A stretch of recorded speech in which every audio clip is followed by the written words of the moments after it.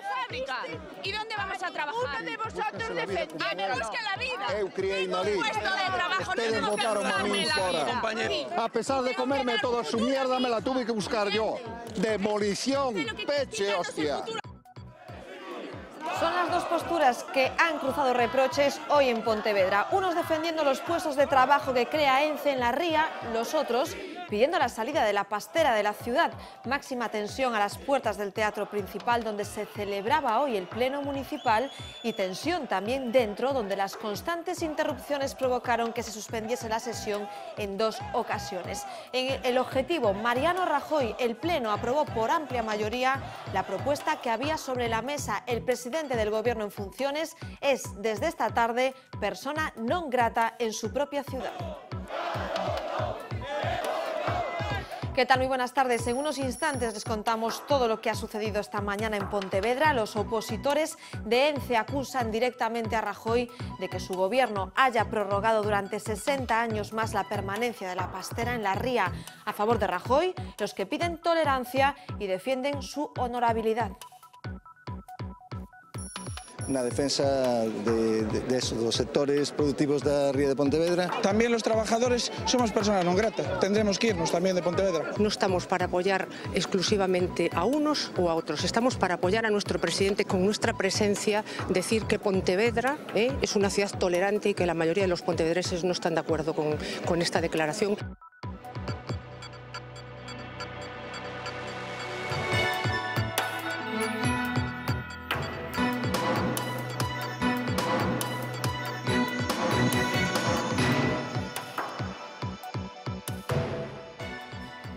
Era una de las imágenes más esperadas de la que muchos dicen que va a salir un nuevo gobierno. Esta tarde se sentaban en la misma mesa PSOE, Podemos, Izquierda Unida y Compromís. Reunión a cuatro formada por 23 integrantes de estas formaciones. Un encuentro en el que no están Pedro Sánchez ni Pablo Iglesias. Exploran las posibilidades de un pacto de izquierdas que permita la investidura de Sánchez como presidente del gobierno. Se ha elegido un lugar neutral, el Congreso de los Diputados, en anfitrión Alberto Garzón de Izquierda Unida, que daba el primer paso para que este encuentro se llevase a cabo. Estamos a la espera de contarles los grandes titulares de esta tarde. Desde el Partido Popular mantienen que esto no es más que un teatro. Que no le tome el pelo a la gente, que nos diga exactamente con quién puede gobernar y si puede gobernar. España no se merece un teatrillo como en el que estamos en los últimos dos meses. Que finalice el teatrillo que nos pongamos manos a la obra, porque los primeros avisos en la economía ya se están produciendo. Las autopsias no aclaran por el momento el suceso ocurrido el pasado viernes en Portodosón, cuando una pareja fue encontrada muerta en el domicilio que compartían en la parroquia de Santa María de Xuño. Paloma Ferro, buenas tardes. ¿Qué tal? Muy buenas tardes. Sí, las pruebas practicadas hasta ahora no son concluyentes. No se puede afirmar con seguridad que se trate de un crimen machista. La mujer, cuyo cadáver se encontró fuera de la casa, bajo la ventana, murió por un traumatismo cráneoencefálico, pero se desconoce cómo se produjo el golpe, si se arrojó por la ventana o la tiraron. El hombre, según los primeros indicios, habría muerto por la ingesta de alguna sustancia. Se practicarán nuevas pruebas también de tóxicos cuyos resultados aún tardarán días en llegar. En los archivos judiciales no constaban denuncias por malos tratos. La plataforma galega polo dereito ao aborto denuncia máis casos en hospitales gallegos de abortos eugenésicos sin atención de personal especializado. Aseguran que tras publicarse la semana pasada lo que estaba ocurriendo en el Hospital Materno de A Coruña, recibieron otras llamadas de afectadas de Ferrol, Lugo y Ourense. Esta mañana miembros de la plataforma se han reunido con representantes de la Diputación de A Coruña. Estaban todos los grupos políticos, excepto PP y Compostela Aberta, que se excusaron por cuestiones de agenda. Tras el encuentro, la vicepresidenta de la Diputación, Goretti San Martín, ha anunciado que pedirán a la Junta la apertura de una investigación a nivel gallego. Victoria Louro, miembro de la plataforma, asegura que la atención precaria que denuncian no se deriva de una cuestión económica, sino ideológica. e se cumpran os protocolos internacionais. Facer unha solicitude ao Goberno da Xunta para que se estableza un protocolo realmente que garanta estes dereitos sanitarios e psicolóxicos de protección ás mulleres. Pensamos que non é cuestión de recursos ou de falta de recursos, pero que se agocha de todo, de todo isto é unha cuestión meramente ideolóxica. O Partido Popular non está a favor dos dereitos das mulleres e moito menos dos dereitos sexuais e reproductivos. Tres meses después de ser condenados a 18 años de cárcel por el asesinato de su hija Asunta, Alfonso Basterra y Rosario Porto vuelven a sentarse en el banquillo. Será mañana en esta sala del Tribunal Superior de Justicia de A Coruña, porque ambos recurrieron la sentencia dictada por el magistrado, derivada del veredicto de culpabilidad de los nueve integrantes del jurado popular. Las defensas de Porto y Basterra alegan falta de pruebas e indefensión. Ahora, un tribunal profesional escuchará los argumentos de sus abogados, de la Fiscalía y de la acusación popular. Después decidirá si acepta el recurso o lo tumba, en un plazo de tiempo no limitado por ley. Democracia Ourensana está decidido a desalojar al Partido Popular de la alcaldía de Ourense. Hace apenas 15 días esta formación impulsaba una reprobación al regidor Jesús Vázquez y ahora prepara el terreno para una moción de censura. El líder de Democracia Ourensana, Pérez Jacome, ha enviado una carta al resto de grupos de oposición en la que propone una reunión a mediados de marzo para trabajar en esa posible moción de censura. El PSOE, aunque apoyó la reprobación del alcalde, ya ha rechazado la propuesta. Ourense en Común no lo descarta. Dicen que apoyarían una candidatura alternativa al PP, pero descartan entrar en un gobierno de coalición. Si los socialistas no cambian de opinión, la propuesta de democracia urensana tendrá poco recorrido.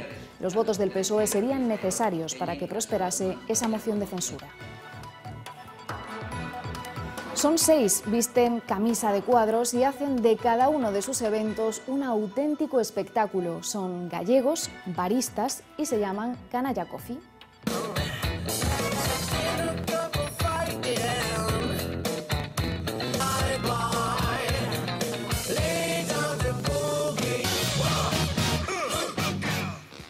Su objetivo es divulgar su profesión y acercar al gran público esa bebida que seguro que la mayoría no perdonan en su día a día, el café.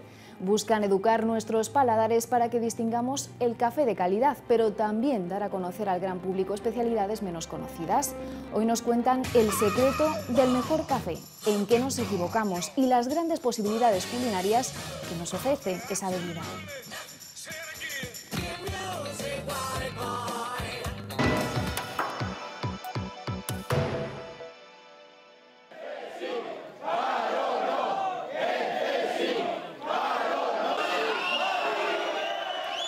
Que ven es el Pleno de Pontevedra. Esta misma mañana, decenas de personas defendiendo el empleo que genera ENCE en la ría. En el otro lado, los que están totalmente en contra de la pastera y de la última prórroga que le permite continuar en su ubicación durante 60 años más. En definitiva, tensión durante un pleno con un objetivo claro. Mariano Rajoy es ya persona non grata en su casa. Y es que el presidente del gobierno en funciones al presidente se le culpa de esa prórroga que el gobierno concedió a ENCE para seguir en esta ubicación. Este enfrentamiento de posiciones en el teatro principal provocó que el pleno se suspendiese hasta en dos ocasiones por las continuas interrupciones que llegaban desde el patio de butacas. Los votos de BNG, PSOE y Marea bastaron para apoyar la propuesta que estaba sobre la mesa. Rajoy es persona non grata en Pontevedra. Los siete ediles del Partido Popular se ausentaron del pleno en el momento de la votación. Solo votó en contra la concejala de Ciudadanos. para entender por que facemos isto, eu teño que falar de miña nai. Miña nai ten 80 anos. Miña nai ten 80 anos. Ela aínda recorda como eran as marismas de Lourizán. E o recorda con tristeza. Esa esperanza acaba de roubarlla un goberno en funcións, a través dun Consello de Ministros en funcións, Con esta prórroga que se lle concede a ENCE por 60 anos, acaba de condenar a 83.000 pontevedreses a cadea perpetua a cadea perpetua coa agravante de podremia na auga, na atmosfera e na paisaxe.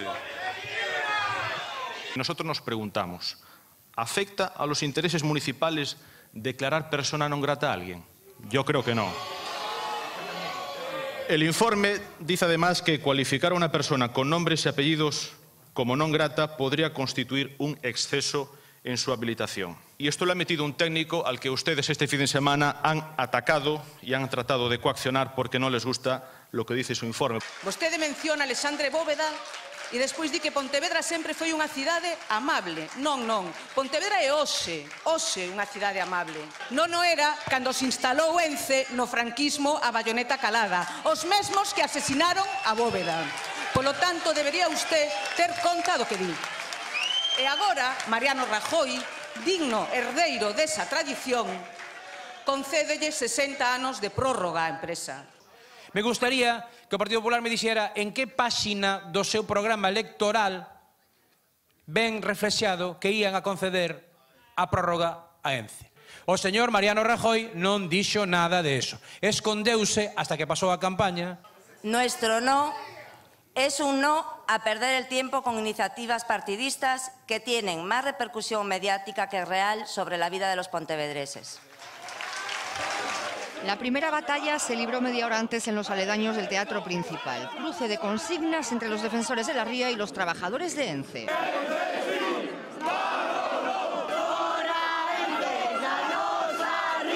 Vimos aquí a expresar unha vez máis que non se pode manter en, en el nosa na ría de Pontevedra porque eso supón a destrucción da economía da comarca. No tienen ni idea de lo que hablan y se basan en cosas muy atrasadas en el tiempo. La empresa ENCE no contamina. El ruido institucional llegó de la mano de varios apoyos populares que asistieron a la sesión para sacar la cara por Rajoy y de paso argumentar conspiración en tiempo de pactos. No nos equivoquemos, esto forma parte de la misma estrategia a nivel nacional que lo que busca eh, Pedro Sánchez es eh, que se deslegitime al presidente en su ciudad, pero no lo vamos a consentir. Nosotros estamos aquí para defender al presidente del Gobierno, la honorabilidad de un presidente que lo único que ha hecho es trabajar. Antes de las 11 se abrieron las puertas y en el patio de butacas, misma sintonía de voces enfrentadas.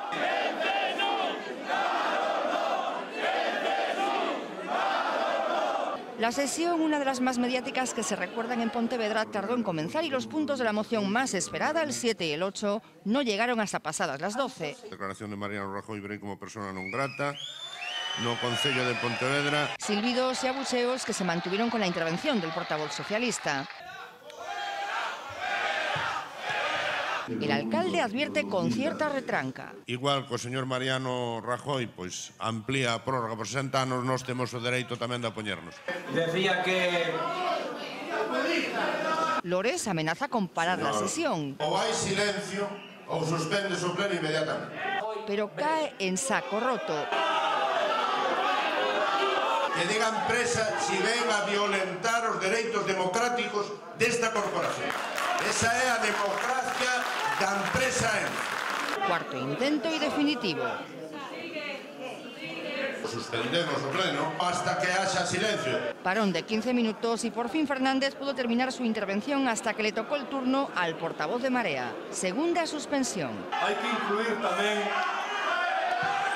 Vou a volver a suspender o pleno. Por fin se retomó la sesión y los abucheos dieron paso a los aplausos en las intervenciones de Ciudadanos y PP. Los vecinos se avergüenzan de los políticos de Pontevedra porque estemos perdiendo el tiempo en debatir semejante estupidez. Permítame que se lo diga. El mutis por el foro de los populares durante la votación provocó un enésimo revuelo El Grupo Municipal del Partido Popular no va a participar de esta obra de teatro. que no impidió que Rajoy fuera declarada persona non grata por su ciudad. La sesión continuó con normalidad, pero fuera la polémica coleó. ¿Quiere cerrarnos la fábrica? ¿Y dónde vamos a trabajar? Uno de vosotros defendemos era. que la vida. Eu criei Malí. un puesto de trabajo, no Ustedes botaron a la fora. Ustedes arruinaron a min a vida, a meus pais e a toda a familia.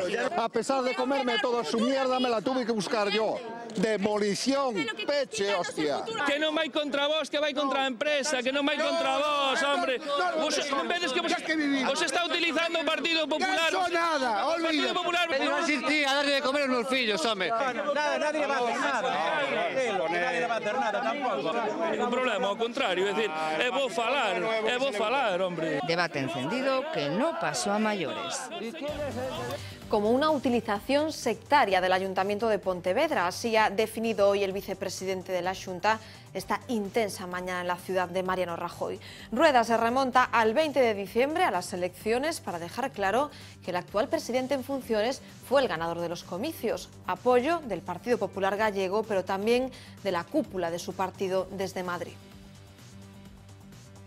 Este tipo de declaracións, eh, ao final, o que o que amosan unha utilización política das institucións con cosines que buscan os que a promoven. Eu creo que hubo unhas eleccións en Pontevedra hai moi pouco tempo, o 20 de decembro, eh, eu quero recordar que Mariano Rajoy, Pontevedrés, que presume da súa cidade máis alá onde va, que creo que trouxo moitas cousas para eh, Pontevedra, que supuxeron un desenvolvemento importante para Pontevedra, pois sacou, por exemplo, cinco veces máis votos que o señor Lores, que por certo tamén era candidato nas eleccións xerais. Se agora o señor Lores intenta eh, arranxar esa situación eh, apoiando esta iniciativa, pois... Eh, hai que decir que queda todavía máis en evidencia. Esto es el circo de la nueva izquierda, que la nueva izquierda pues no deja de ser el comunismo más anastalinado de toda la vida. Pontevedra gobierna la izquierda radical, Pontevedra está mucho peor y en Pontevedra se dedican a declarar persona eh, no grata a probablemente la personalidad más destacada del último siglo de esa ciudad. Aunque nació en Santiago, a Mariano Rajoy se lo vincula con Pontevedra porque a esta ciudad vino a vivir cuando tenía 15 años. En ella sigue parte de su vida, a ella vuelve con relativa frecuencia. No es raro verlo paseando por estas calles, así que a los pontevedreses les hemos preguntado qué le parece la declaración de persona non grata. Me parece exagerado porque no es ningún ningún delincuente ni nadie que se merezca ese trato. Parece una barbaridad, una animalada. Creo que es una persona que por Pontevedra ha hecho muchísimo, una persona amable, cariñosa. Lo que me parece una burrada es que el secretario del ayuntamiento diga que es ilegal hacer ese nombramiento y que los políticos se atrevan a hacerlo. ¿Y por Pontevedra creen que hace...? Sí hace, sí, sí ha hecho y hace y sigue haciendo. Como pontevedrés pues debería eh, favorecer el desarrollo de la ciudad. Oye, hubo mucha inversión en Pontevedra. Quizá alguno haya coincidido con Mariano Rajoy en este casino de Pontevedra porque era asiduo a los bailes de la peregrina, así que vamos a ver qué opinan en esta zona del todavía presidente del gobierno en funciones. Penso que non debería volver a Pontevedra nunca máis. Rajoy no es bienvenido en muchas partes de España y en muchas familias. Porque hace las cosas como las hace y cada uno tiene lo que se merece. No me cae bien el tío en sí, pero la verdad, para declararlo persona non grata en una ciudad, cuidado, eh. Ya tuvo que liarla muy parda. Eso es porque el alcalde tiene muchas manías. Tercer escenario de nuestro recorrido, la Plaza de Toros de Pontevedra. Es habitual la imagen en verano de Mariano Rajoy en este entorno. Así que preguntamos en la zona, ¿qué opinan? No estoy de acuerdo con eso. porque aquí tienen la, la celulosa. Celulosa ese é o único que tenemos pa, que dá trabajo. Me parece perfecto porque unha persoa que sabe das, da, dos problemas que ten Pontevedra e coñece perfectamente a problemática que hai con este asunto, en vez de dar solucións, colle de 60 anos máis de, de, de prórroga a concesión pública que se lle dá. Así que, por min que non volvo aquí. Creo que está justificado. Por qué? Hombre, una empresa pública y la revenden. Yo lo veo totalmente desproporcionado. Y básicamente de paletos. Es que fixo moito por Pontevedra. Primeiro que de Santiago, el, non de Pontevedra. e segundo, creo que non fixo nada. Sí, llenarse los bolsillos. Sí, quitarnos el dinero a todos. Es político. Habrá cosas que estén bien y cosas que no estén mal. Por esa regla de tres también podemos declarar persona non grata al alcalde, Piensen lo que piensen la calle o los políticos, lo cierto es que Mariano Rajoy es persona non grata en Pontevedra desde hoy, pero hoy nos preguntamos qué significa este tan poco anhelado título, vamos a decir, Paloma. Vamos a ello. Si persona non grata es una locución latina y significa persona no agradable, no bienvenida. Ahora bien, no es lo mismo que nos declare persona non grata un ayuntamiento o un colectivo a que esa declaración parta de un Estado. Si nos declara un Estado, nos impide la entrada en su territorio o nos expulsa de él, pero solo se aplica en el ámbito diplomático. España rige sus relaciones diplomáticas por los acuerdos de la Convención de Viena de 1961. El artículo 9 es el que define las implicaciones de ser persona non grata. Básicamente, un Estado puede, en cualquier momento y sin tener que explicar su decisión, declarar persona non grata a cualquier miembro del cuerpo diplomático. Esa persona es considerada inaceptable y se le puede impedir la entrada en el territorio o forzar su salida del mismo. Ya ha ocurrido. En 2010, por esta vía diplomática, España expulsó a dos miembros de la Embajada rusa en Madrid por un presunto caso de espionaje. Fuera del mundo diplomático, calificar a alguien de persona non grata no tiene ninguna consecuencia jurídica, incluso aunque la declaración parta, como en el caso que atañe a Mariano Rajoy, de una administración pública. Vamos, que Rajoy va a poder seguir visitando su tierra natal. Es más un gesto de desprecio a la persona a la que va dirigido o una llamada de atención. Y en este sentido, el de Rajoy no es un caso único. En Galicia encontramos varios. Otro presidente del gobierno, el socialista José Luis Rodríguez Zapatero, fue declarado persona non grata por el Ayuntamiento de Fene. La moción fue impulsada en 2010 por el Partido Popular y el BNG. Fue un tirón de orejas a Zapatero por no negociar el levantamiento del veto europeo al astillero Astana. En febrero del 2015, la Diputación de Lugo declaró a la entonces consellera de Sanidad a Rocío Mosquera non grata. Un mes después también lo hacía el Ayuntamiento de Lugo. ¿Por qué? Pues por sus declaraciones y por su postura en relación a los servicios pendientes en el ULA. En 2013, el Pleno del Concello de Vigo declaró no grato al comisario europeo, Joaquín Almunia. Ocurrió a raíz de la decisión de Almunia de obligar a España a devolver las ayudas al sector naval, el llamado tax lease. En 2012, el Colegio de Abogados de Vigo calificaba de persona non grata al entonces ministro de Justicia, Alberto Ruiz Gallardón, por su decisión de aprobar las tasas judiciales. En 2010, la Federación de Asociaciones Vecinales de Culleredo, en A Coruña, acordaba por unanimidad declarar no grato al entonces ministro de Fomento, el socialista gallego José Blanco.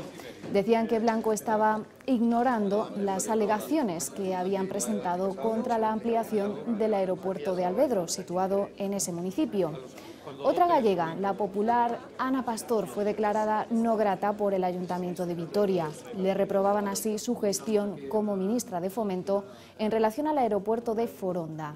Aunque el título de no grata le duró apenas dos horas, el consistorio lo anuló el mismo día. Y recientemente, hace apenas un mes, un pequeño ayuntamiento de Gerona, llamado Breda, declaraba no grato al mismo rey de España, Felipe VI. El consistorio está en manos de Esquerra Republicana de Cataluña y considera que el rey representa todo lo que les impide el derecho a decidir. Bueno, en todos estos casos, como decimos, no hay consecuencias jurídicas de ningún tipo. Se entiende, eso sí, que el consistorio, el colectivo que declara no grato, no los va a invitar a los actos oficiales a pasarse por allí.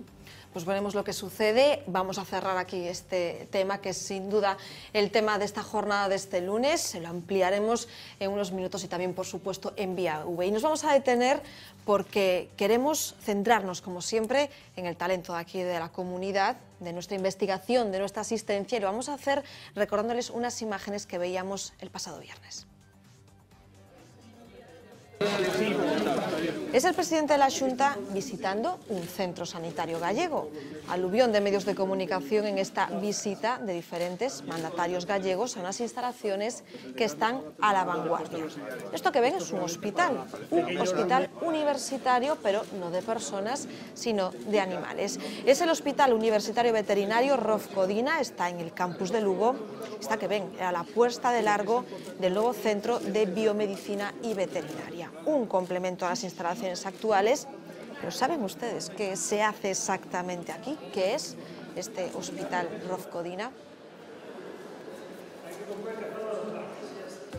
Asistencia, investigación, aprendizaje, todo eso está reunido en el campus de Lugo, pero para conocer perfectamente lo que es este hospital de la Fundación Rofcodina, nos acompaña hoy un hombre que ya veíamos en esas imágenes, es su director y es Luis Felipe de la Cruz. Luis, ¿qué tal? Muy buenas tardes. Muy buenas tardes, muy buenas noches. Muchas gracias por su invitación. Gracias por estar aquí. ¿Qué significa este paso adelante que se daban en estas instalaciones, este centro de biomedicina y veterinaria? Bien, las instalaciones del Hospital Rozcodina se, eh, se hicieron hace más veintitantos años. Eh, la obsolescencia era una cosa que estaba clara, entonces eh, nosotros hemos ido reformando partes del hospital, el bloque quirúrgico y otras partes. Entonces nos quedaba por abordar un tema muy importante, es tener un centro con los estándares que tenemos ahora, es decir, los estándares de bienestar animal, de sanidad animal y demás tenían que tener, tenían que tener un, nivel muy superior para poderlos dedicar a la docencia, a la investigación y a la asistencia. Entonces, eh, a partir del 2010 comenzó un proceso que ha sido largo, que ha habido que buscar muchos aliados y complicidades y que terminó el viernes con la inauguración de estas instalaciones y que esperamos en los próximos meses empezar a desarrollar todo su potencial. Bromeaba el presidente de la Junta en esas imágenes que veíamos que había eh, material de hospitales, ¿eso es cierto? Sí, eh, nosotros cuando algunos hospitales de Humana, concretamente la residencia de Lugo, eh, se cerró, pues había material que nosotros podíamos rehabilitarlo y reutilizarlo, no reciclarlo, sino rehabilitarlo son materiales que nosotros no podríamos permitirnos, ¿eh? como son algunos, algunos sistemas, las lámparas, lámparas con cámaras de, vídeo eh, y otros materiales, entonces eh, las puertas, que son automáticas. Entonces todo eso se consideró en el proyecto para eliminarlo, porque se podría reutilizar y ahí está. Claro, para que todo el mundo entienda que es el Hospital Universitario Veterinario Rofcodina, es un hospital de animales, pero a lo grande, porque todos imaginamos como una consulta veterinaria. Bueno, ya hay, ya hay, hay ejemplos en España de grandes hospitales, eh, también universitarios, pero también no universitarios. Realmente la progresión de la, de la, clínica veterinaria en los últimos años ha sido muy importante. Es decir, la, el valor emocional de las mascotas y el progreso de la ciencia ha hecho que realmente los hospitales empiecen a aflorar. Ya hay unos, eh, tenemos como ocho nuevos hospitales universitarios importantes en toda España. Precisamente la Asociación de Hospitales Veterinarios Universitarios se forjó en, Lugo, empezó en el año 99 y realmente la presidencia, en este caso es, la llevamos nosotros, soy yo el presidente, porque el modelo de gestión de la Fundación Roscodina fue un modelo novedoso en su momento y ha sido un modelo que ha utilizado mucha gente. De hecho, le traigo el libro de los 20 años, ¿Mm? un ejemplar donde está nuestra pequeña historia de estos 20 años con todos sus avatares, sus presidentes, vicepresidentes, la implicación de las instituciones que ha sido fundamental. No es solo la novedad del pasado viernes que iban los políticos, ¿no? sino es el trabajo de más de dos décadas. efectivamente. Importantísima la formación que se le da a los futuros veterinarios, o a los ya veterinarios eh, que están al ladito, en el propio campus, ¿no? Efectivamente, es decir, el hospital veterinario es universitario, su razón fundamental es la formación de los veterinarios. Naturalmente, en la universidad todos sabemos que no hay buena docencia si no hay investigación. Entonces va muy unido la docencia y la investigación. Y sobre todo, y eh, que es importante también, es gran cantidad de formación de posgrado en las ciencias biomédicas. Es decir, farmacéuticos, veterinarios, hay farmacéuticos que hacen sus prácticas en nuestra farmacia. Es, decir, abarcamos todas las, eh, las profesiones sanitarias o biomédicas porque creemos que es fundamental para la formación de los profesionales tener centros de este tipo. Hablamos eh, de asistencia, cualquiera podemos llevar, porque muchos nos hacemos a la idea de que son mascotas, pero claro, hay animales, como estamos viendo en las imágenes, pues entiendo que caballos de competición, eh, también todo lo que lleva del sector agroganadero, ¿no? Efectivamente, puede ir cualquier animal. Realmente para el sector agroganadero, por el propio valor del animal y por la complicación de salir algunos de estos animales de las explotaciones, tenemos unas furgonetas que es nuestra clínica ambulante, con lo cual veterinarios, eh, facultativos del hospital, profesores, eh, acompañados por alumnos y por, eh, eh, veterinarios que están haciendo el internado con nosotros, es decir, ya son posgraduados, o sea, van por, todas las, por una serie de, explotaciones haciendo la clínica necesaria y formando a nuestros alumnos. A nivel investigación, eh, me consta que se hacen importantísimas operaciones, intervenciones, ensayos, puede ser con los animales en el ROFCODINA. ¿En qué nivel lo podríamos situar? Realmente se hacen ensayos en el Roscodina, pero siempre bajo la supervisión de los comités éticos que son necesarios para hacer este tipo de ensayos. ¿eh? Entonces, de esa manera, los, eh, aquellos investigadores que necesitan la utilización de estos tipos de, ensayos necesitan mandar el protocolo y que sean los comités éticos los que decidan si se puede o no se debe hacer. De todas formas, siempre bajo la supervisión de facultativos, de personal cualificado y siguiendo estrictamente los protocolos de, eh, este, esta experimentación. Hay gran cantidad de proyectos, están trabajando en biomateriales ¿eh? para implantes dentarios, están trabajando en enfermedades, eh, enfermedades crónicas como diabetes y otras. Precisamente una, una portada de, de un, eh, de un semanal, el XL, nos dio una portada que se estaba haciendo, las, estaba haciendo ensayos de, para la lucha contra el Alzheimer. Estaba haciendo en perros y nos dio esa portada el XL hace un año, año y pico. Claro, es cierto que, que en un hospital como este Y perdone, posiblemente mi ignorancia, ¿hay veterinarios especializados? Me refiero, unos especializados en dermatología, otros en oftalmología, ¿es así? Efectivamente. Hay veterinarios que siguen eh, fundamentalmente su especialización hacia determinados campos. Hay dermatólogos, hay etólogos, eh, hay cirujanos, hay oftalmólogos, eh, hay profesores y facultativos de medicina interna dedicados al ecocardio, decir, que hay, se abarca toda la... Naturalmente, lo bueno que tiene este proyecto del hospital es que nos queda mucho camino por recorrer y muchos proyectos que poner en marcha, con lo cual necesitamos todavía que ese libro vuelva a salir el, segundo de los otros 20 Que se sumen años. Claro, uno debe imaginarse el tamaño de estas instalaciones cuando mm, en muchas ocasiones llegan caballos, porque aquí hay zonas de consulta, hay pabellones de hospitalización, hay zonas de cuarentena, quirófanos, claro, todo esto a lo grande, ¿no? Naturalmente. Es decir, eh, uno de, de, los elementos importantes para el nuevo centro era que eh, la hospitalización y sobre todo zonas de docencia e investigación estaban muy obsoletas. Pero eso también nos ha permitido hacerlo, eh, hacer, aumentar el volumen. Entonces hemos pasado de 2.700 metros que teníamos antes a 4.700. Entonces ahora el hospital completo está por encima de los 7.000 metros ¿Es correcto que reciben 8.000 casos al año? Sí, sí, recibimos 8.000 casos entre grandes y pequeños animales. ¿Qué, qué, tipo de animales son los que más copan? Los, fundamentalmente son las mascotas. Las mascotas. Eh, fundamentalmente perros y gatos, pero fundamentalmente perros. Y es cierto que, llegado un caso, por ejemplo el caso de un perro, ¿se le puede ofrecer a sus dueños tratamientos experimentales cuando ya no hay soluciones? Eso es más complicado, porque se, necesita, se necesita estudiar muy bien los protocolos. ¿eh? No, no ha habido todavía ningún... Lo que sí hay es tratamientos que ya están en uso, como con, con fibroblastos y, de, y, otras, y otros sistemas, pero ya están perfectamente en uso. Los tratamientos experimentales es bastante complicado. Necesita de un tratamiento mucho más específico. Se percibe desde la parte médica que cada vez em, tenemos más afecto a los animales, mucho ha cambiado aquello de los animales de trabajo a nuestras mascotas. ¿Es muy diferente cómo llegamos los dueños? Naturalmente, porque ahora las mascotas tienen un valor sentimental, es el valor económico ha desaparecido. Entonces ahora es el valor sentimental, es el, es el valor que, se, que hoy en día hay gran, gran cantidad de, de programas. Nosotros estamos haciendo un programa con, con enfermos de ictus que están trabajando con los animales, van todos los, todos los viernes.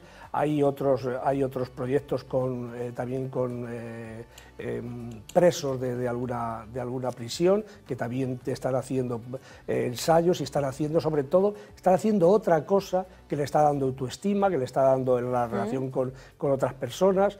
Es muy importante, yo creo que también se ve en las personas mayores. Hay gente que las mascotas son fundamentales porque es un elemento más, es un ser vivo que tiene al lado. Por si no, si no hay gente que, que, su, su, eh, su, conversación diaria es con muy poca gente, prácticamente no la tiene. Sí, qué parte importante ocupan las mascotas en muchos lugares. y sobre todo porque les hacen subir, bajar del piso, ir a mm. relacionarse con otros, con otros dueños, es decir, ese tipo de cosas desde el punto de vista social tiene una gran repercusión. Luis, la última, ¿se nota aumento de animales exóticos? Muchísimo. ¿Sí? sí, hay muchísimo animales exóticos, hay, hay sobre todo hay hurones, hay iguanas, hay, se ve cada día más, más animales exóticos que van a, nuestro hospital y que también tienen su tratamiento eh, y su medicina de animales exóticos.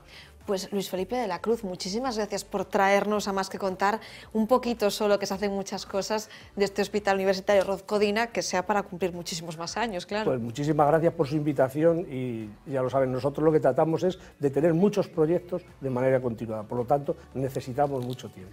Gracias Luis, un placer. Muchas gracias. Nosotros vamos a parar solo unos instantes, vamos a ordenar este día que ha sido un lunes muy intenso.